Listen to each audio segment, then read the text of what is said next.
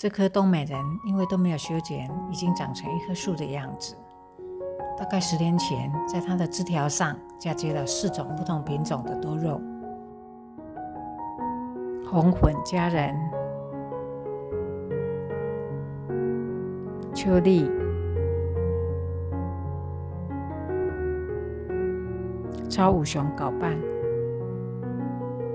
明月。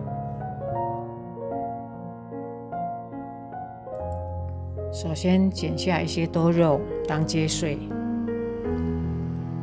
东美人的老桩当砧木。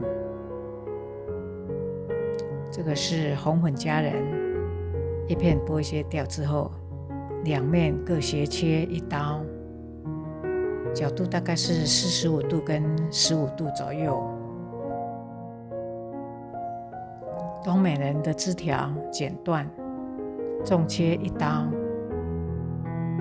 位置最好贴着木质部往下切，深度大概两公分。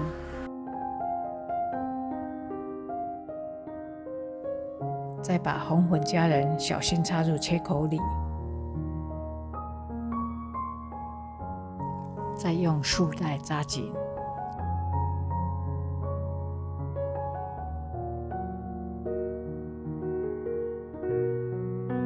就接好一个了。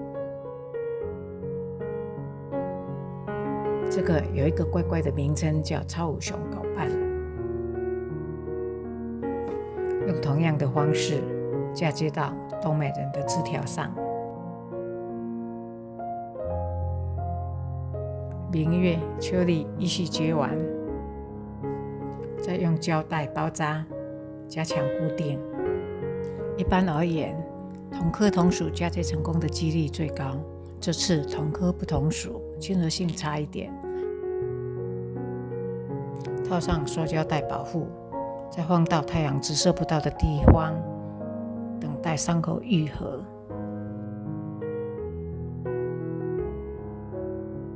经过一个星期，解开塑胶套。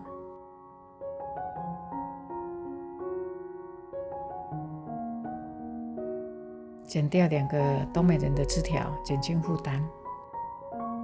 晒一下冬天温和的阳光。目前看起来状况还不错。现在又是多热的生长旺季，成功的机会应该还是蛮大的。